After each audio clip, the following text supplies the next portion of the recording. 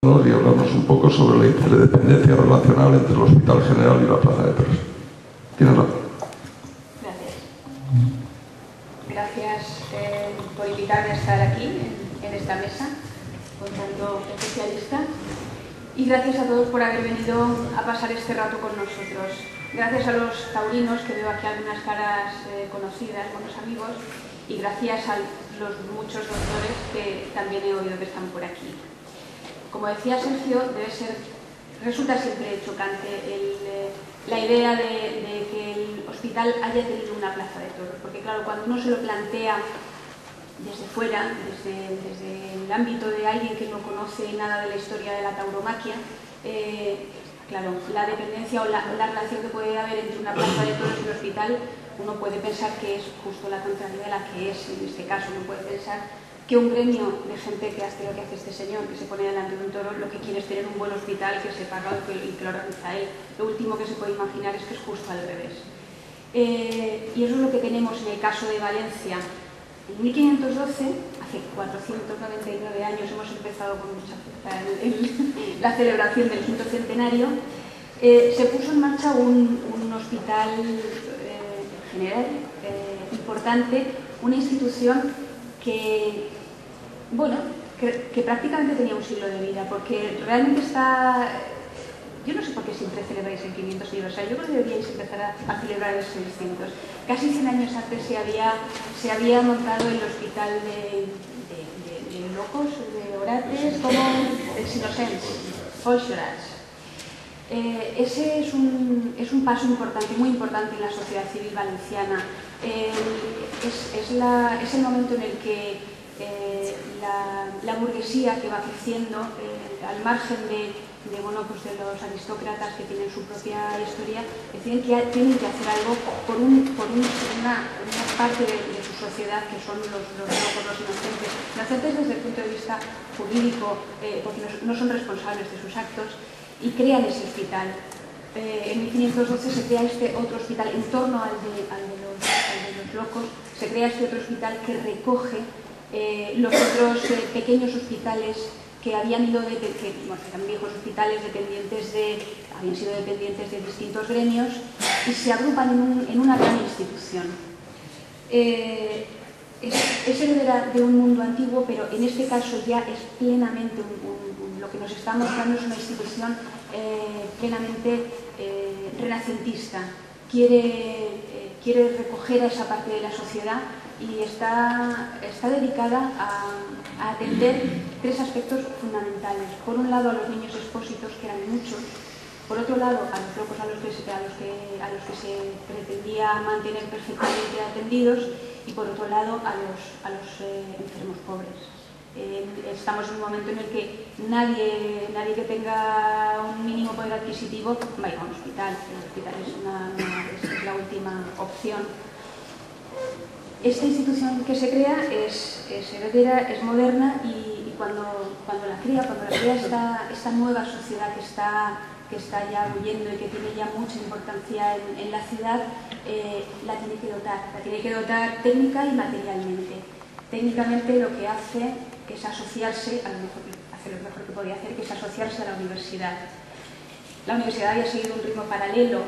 Un, siglo antes prácticamente se había, iniciado el núcleo, el, estudio general, y eh, prácticamente al mismo tiempo que se crea el Hospital General nace la Universidad de Valencia. También es una universidad moderna, deja de lado parcialmente, los, no, no les da tanta importancia a los estudios medievales, los estudios teológicos y de leyes que habían sido los núcleos tradicionales de las, de las grandes universidades medievales y empieza a hablar, se empieza a hacer unos, unos estudios prácticos, los de medicina, y eso es lo que hace ese hospital.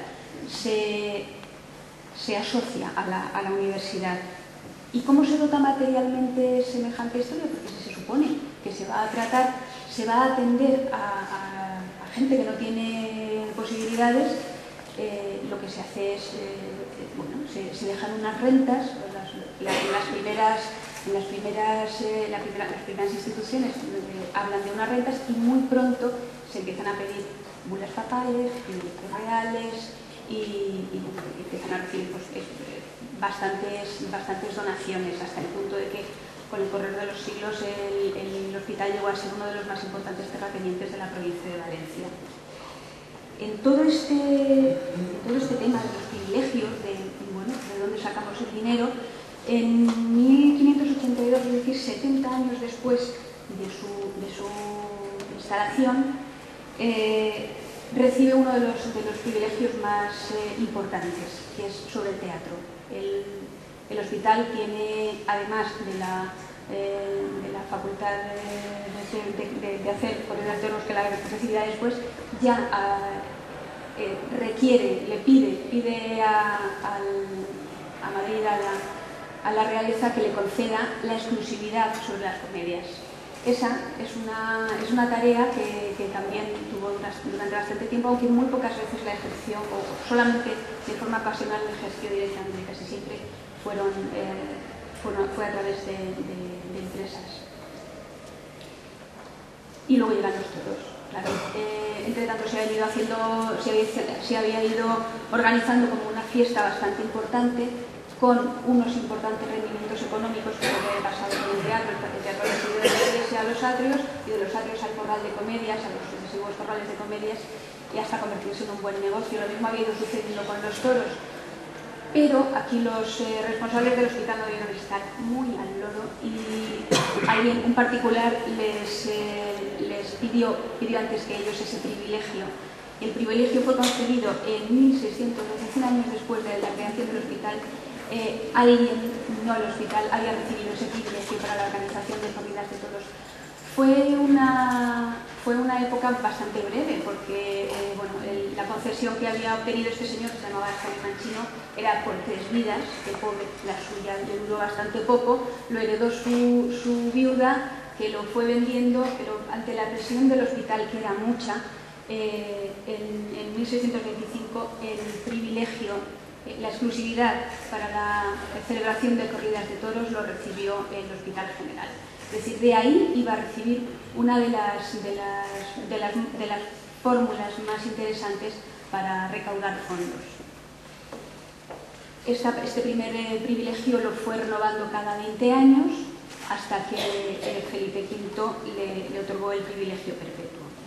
Eso lo vemos después. Pero tan importante era lo de los toros, tanto, tanto lo dejaba este, este asunto, era lo que había que preguntarse.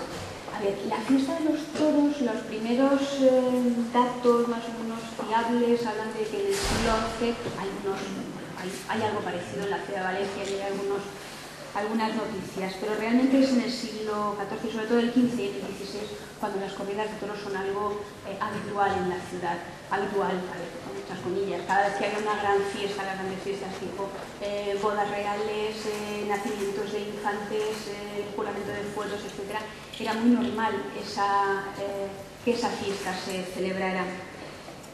Era una fiesta para nacimiento de los nobles, todos los taurinos que estéis por aquí ya lo sabéis, en aquella época no hablamos de... No, hablamos de que había toros y que había corrida, pero es lo menos parecido a lo que hace Pedro hoy, probablemente. Era, era una... Era una, bueno, un asunto, digamos, una revisión de lo que, había, lo que hubiera sido una gran cacería y que realizaban los, los nobles a caballo, muy bien eh, enjaezados eh, los, los, animales, ellos muy vistosamente ataviados y, y ayudados de, de, su gente hasta que desjarretaban un toro. Francamente era una, una, una, historia de enfrentarse a una bestia y, y acabar con ella. No tenía, no tenía más misterio, pero sí que eh, se organizaba una gran, una gran fiesta alrededor de, la muerte del toro. Pero era una fiesta que no, era, que no estaba sola, era una fiesta en la que nos volvemos a encontrar al hospital. Eran, eran esas fiestas barrocas que, que Pilar Pedraza ha, estudiado también, en las que toda la ciudad participaba. Es decir, si había tres días de fiesta por, lo que os decía, por el, eh, nacimiento de, un infante, lo que se organizaba eh, afectaba a toda la ciudad. Eh, las, grandes fachadas eh, se iluminaban durante tres días, se, había colgaduras por todas las calles, había grandes desfiles y había toros y cañas. En los desfiles aquí nos podemos encontrar, podemos encontrar, entre otros, un carro de locos, uno de locas, uno de niños. Esas fiestas incluían a toda la sociedad estaban los gremios, que aunque han ido perdiendo importancia, seguían presentes allí. Eh, estaban, estaban los nobles y estaba el pueblo llano. Y por supuesto, cuando, como una de las partes más importantes del fin de fiesta, lo que os decía, se cerraba una plaza, que eso, de, eso ahora Alberto nos, nos, comentará con bastante detalle, que lo ha estudiado a fondo, se cerraba la plaza, se, colgaba, se colocaba el cadafal y los nobles salían a hacer ese, el juego primero de los toros y luego el de cañas, que en definitiva era como una gran, una, eh, una, una, pelea medieval, pero en la que ya no hay, ya no hay lanzas, sino cañas y, ya no hay más contrincante que un monigote. Uno de los, de los eh, estas fiestas que, que, van, que, llevan un ritmo creciente de, de,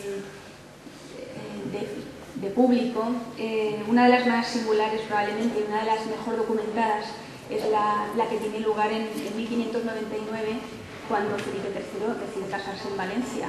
Eh, la gran fiesta que se organiza en, la lonja y eh, el cierre de los cadafales, la entrada de los, de, los, de, la, de los grandes, de los nobles, de los jurados, de, los sucesivas, eh, de las sucesivas autoridades y finalmente la, la, fiesta de toros y cañas es una de las mejor documentadas del momento. Bueno, también he de decir que, como documentación eh, es más interesante para, para, para, los bajes de las señoras que están más comentados que en el ola actual que para los toros realmente solamente. Y salió y la desjarretaron en tres minutos, más o menos ya se lo que duraba una fiesta.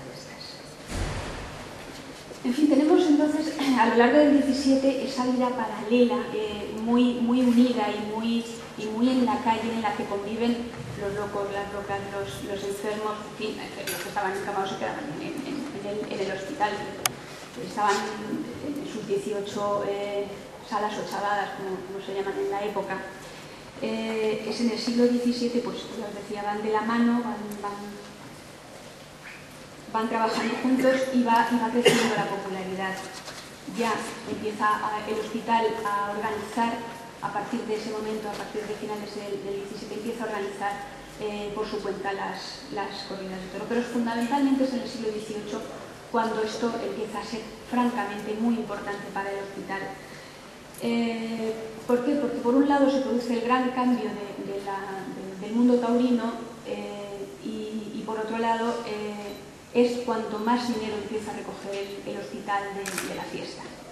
¿Qué sucede? Que con el cambio de, siglo se produce el cambio de dinastía eh, y aparecen los, los, los, austrios que habían sido más aficionados a los toros o que estaban en este, en, en este mundo muy, mucho más barroco, eh, desaparecen en favor de los borbones que desde luego, a quienes desde luego esa, esa, esa fiesta de los españoles les parece una, una monstruosidad, más o menos. Y desde luego no están, no están por la labor. Y, si el rey no es muy aficionado a semejante fiesta, evidentemente la nobleza, bueno, decide que eso ya no está de moda.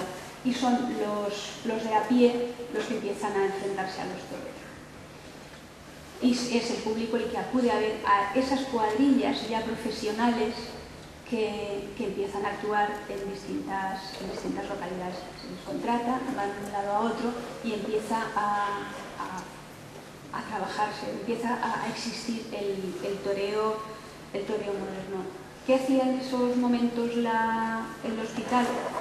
Organizaba ya directamente todas las, todos los festejos. Es decir, si hasta ese momento to, eh, los festejos habían estado asociados a, grandes fiestas eh, civiles o religiosas, da igual que fuera la eh, declaración del santo de, un personaje o que fuera el nacimiento real, a partir de ahora se hace prácticamente de manera anual, de manera anual, coincidiendo con, con eh, finales de julio habitualmente, lo que luego dará lugar a que el ayuntamiento organice la feria de julio, pero a partir de, de estas fechas empieza a ser ya habitual esta organización.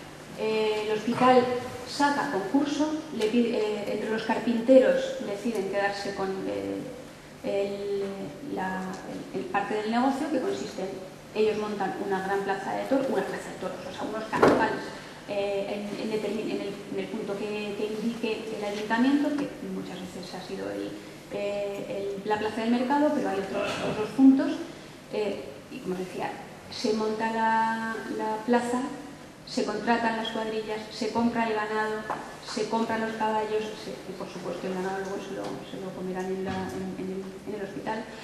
Eh, eso es algo que no tienes en cuenta si decidís que no vais a hacer más, a organizar más corridas.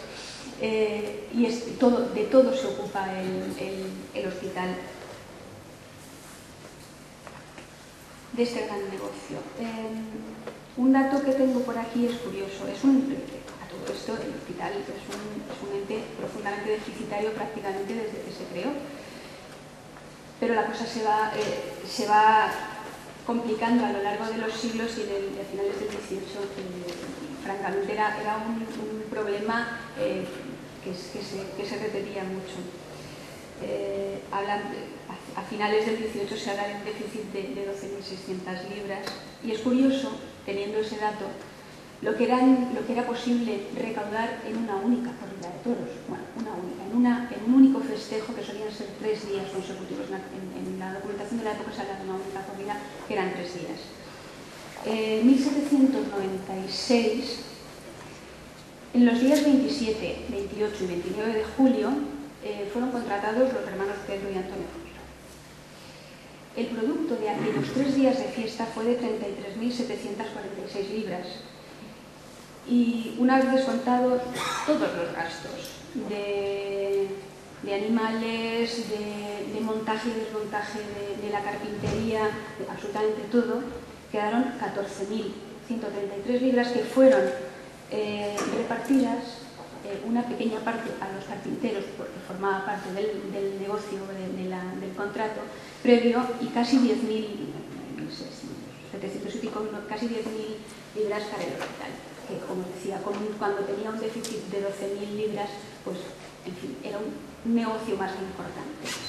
Pero claro, no era un negocio seguro, no era un negocio seguro porque de vez en cuando había prohibición de toros porque se decidía que no estaba el país para andar matando animales de una manera tan alegre, no había habido pastos, no había lluvias. Eh, hubo momentos en los que la Real Maestranza también obtuvo permiso real para celebrar corridas de toros. La cosa se estaba poniendo fea al hospital, no podía dejar de pasar estas, estas oportunidades y estuvo desde, desde principios del siglo XVIII estaba en mente hacer una plaza de toros. Si ellos aseguraban que no tenían que montar y desmontar para tres días una, plaza o un, un si podían tener una eh, una plaza fija, ellos tenían muy claro que su negocio podría multiplicarse, porque no solo harían los, los importantísimos toros de muerte, se correrían vacas y toretes, como llamaban, no serían necesariamente grandes festejos, pero sí que tendrían oportunidad, se completaban todas estas corridas, de hacer otros, de hacer otros festejos. Y eso es lo que hicieron, aunque ahora después nos lo contará Alberto con más detalle. Eh, la primera plaza de toros se se construyó donde está la actual, en unos terrenos que tenía una huerta que, pertenecía al hospital. Se construyó en 1800 y duró pues, un ratito, como quien dice, porque cuando la, guerra de la independencia, aquella, aquella plaza desapareció, no sin, no sin bastantes complicaciones. Ya estaba mal, no era una plaza que se hubiera hecho de obra, eh, eran eh, el esfuerzo que significaba para el hospital la documentación que, se conserva en el archivo de Diputación es, muy interesante porque hay constantes eh, intentos y propuestas. Es que sería tan importante para nosotros, pero al mismo tiempo, ¿cómo vas a gastar cuando tienes un déficit permanente y cuando, y cuando tus cuentas corrientes no salen? ¿Cómo vas a invertir en semejante historia? Es, sigue presente. En el 1800 se construye una que se derriba ocho años después, pero a partir de ese momento tienen muy claro que ya nunca van a tener una plaza de quita eh, hubo una de, también de madera eh, durante muchos años que estuvo del otro lado de las, torres de Cuarte y a partir de ahí eh, las, todos los intentos fueron dejarla fuera de la ciudad pero siempre fija. Luego estuvo el intento de 1850 y por último la que se inauguró, la que tenemos aquí detrás de nosotros en esta fotografía en 1859. A partir de, este momento eh, y durante bastantes años el hospital eh, la arrendó al señor Mr. Price, conocido para todos nosotros como el del Circo Price, eh, que venía regularmente, vienen eh, hacia, hacia, la, Asunción o, o, según las fechas. Él pedía, por cierto, pedía la plaza con muchísima antelación eh, para sorpresa de, los, de, los, de la gente del hospital pero ya os digo, hubo de todo tipo de espectáculos han pasado por la, por la plaza de toros. Eh, ha habido fallas, ha habido música, ha habido políticos, ha habido, por supuesto, toros grandes, pequeños. Lo que llamamos charlotadas fue uno de los grandes, una de las, de las fiestas más importantes y de mejores rendimientos de al Hospital. Y así eh, estuvo funcionando hasta prácticamente eh, todo el siglo XIX. A mediados del siglo XIX, todas la las leyes de beneficencia están, eh, van dejando las instituciones como el hospital, las van poniendo en manos de las diputaciones que se van creando. El, espacio que va quedando es, menor. La, idea de que hasta ese momento lo que se recaudaba en la plaza iba directamente a las arcas del hospital fue desapareciendo hasta llegar todos, hasta llegar todos esos ingresos a una, a una caja común. Y a partir del siglo XX ya no es directamente el hospital el que se encarga de la historia de la plaza de, de toros, pero justo hasta ese momento. Eh, lo que había habido era exactamente eso. El hospital tenía unos fabulosos ingresos o unos interesantes ingresos mmm, de la gestión de la plaza de, toro, de toros, pero eran ellos los, propios responsables del hospital quienes, quienes tenían que tener buen tino a la hora de elegir los matadores, seleccionar el ganado y buscar buenas fechas para que los festejos fueran lo suficientemente valiosos como para que el espectáculo fuera bueno. Y esta ha sido la historia.